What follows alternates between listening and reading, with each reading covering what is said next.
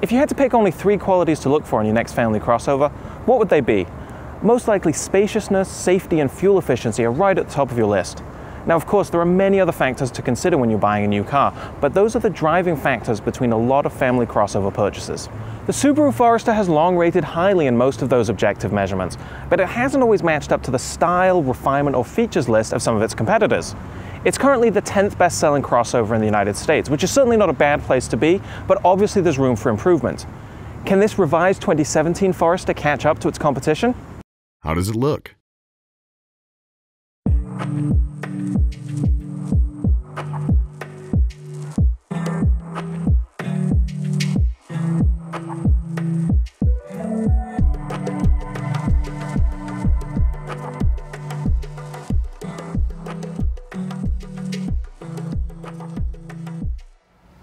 The Forester is absolutely function first, form second.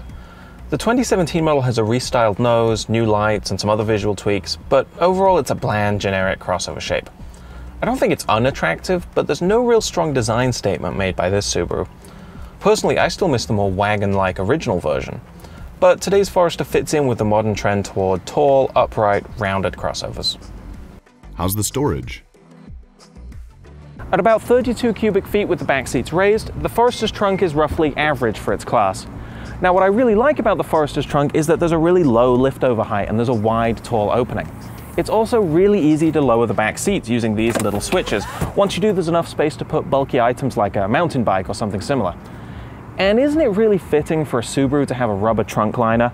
That's perfect when you've got a muddy Labrador or hiking boots to throw back there.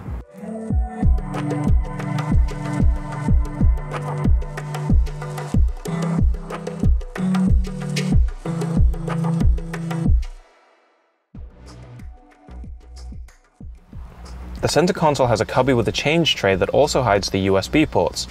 The door pockets are generously sized to hold water bottles, and a tray below the center stack will hold a phone, wallet, or kit can. In the back, there are also big door pockets, plus cup holders in the armrest, but no USB ports or power outlets. Is it roomy? The Subaru Forester is really roomy and very tall inside. I can raise the driver's seat far higher than I really need, which could be a plus for shorter drivers and because the beltline is so low, you have a really commanding vantage point. It's also worth noting just how significantly opting for this cool panoramic sunroof cuts into headroom, by about an inch and a half for the front seats. The back seats provide plentiful legroom and lots of width for seating three people, though the seats don't recline or slide unlike some of the Forester's rivals. How does the interior feel?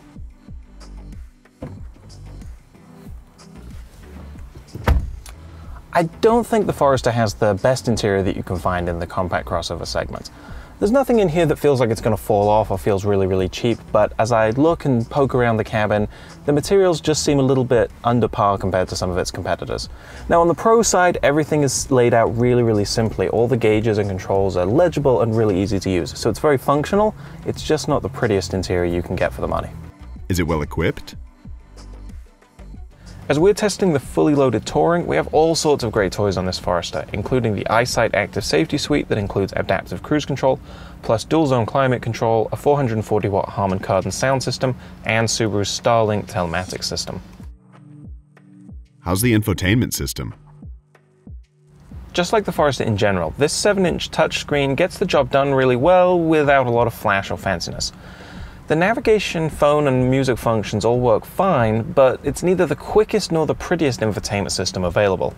Unlike pretty much all of its competition, the Forester does not support Apple CarPlay or Android Auto, which is fast becoming inexcusable given how popular that feature is becoming in the car market in general. Is it a good daily driver?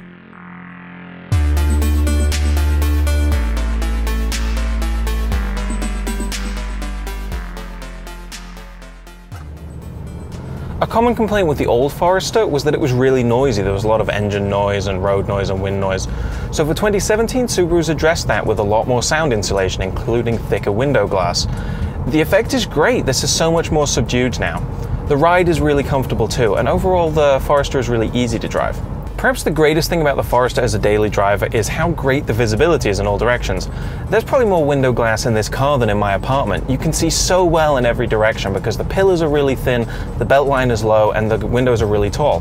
That's a huge, huge help, especially in city driving when you're trying to navigate in busy traffic. Is it fun to drive? We're driving the Forester 2.0 XT, which means it's got a turbocharged 2 litre engine that's not too dissimilar from the one in the WRX. And there are other changes too. We've got paddle shifters, there's a boost gauge, there's larger brakes and stiffer suspension springs compared to other Foresters. But despite all that, the answer is still no. Even with 250 horsepower, the Forester's not really that quick, um, and the handling's still a little bit vague and floaty at times.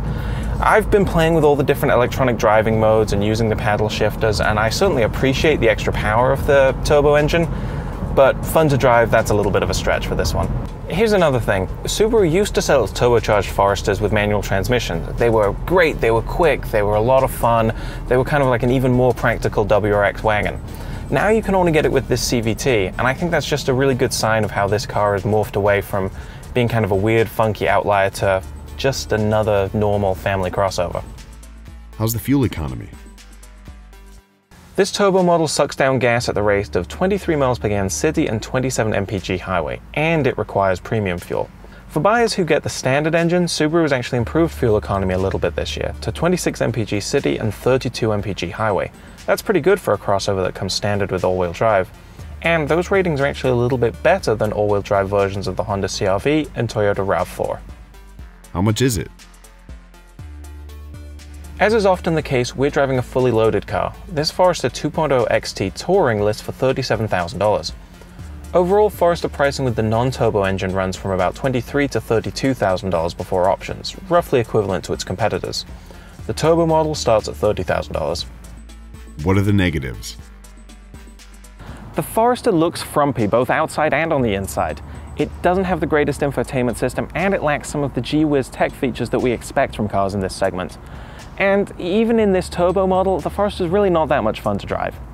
Who should buy it? Of course, there are a lot of stereotypes about the Subaru Forester only being for active, outdoorsy types, and if that's you, then you're going to love it. But frankly, the Forester is great for anyone who values really practical aspects in their family crossover, things like visibility, spaciousness, and fuel efficiency. The 2017 model is the most well-rounded Forester I've ever driven, and so long as you're not looking for more style or a plusher interior, it's definitely worth considering when you're shopping.